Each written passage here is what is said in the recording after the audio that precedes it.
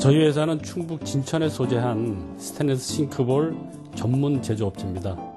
현재 전 세계 20여 국에 수출을 하고 있고 500만 불 탑을 수상했습니다.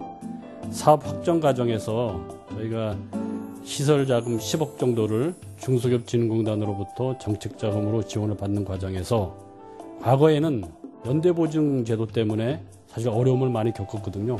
근데 금년에는 저희가 아, 연대 보증 제도 없이 또 가상금 없이 아, 정책 자금을 지원받는 과정에서 연 1,650만 원 정도의 아, 이자 감면 효과를 받습니다.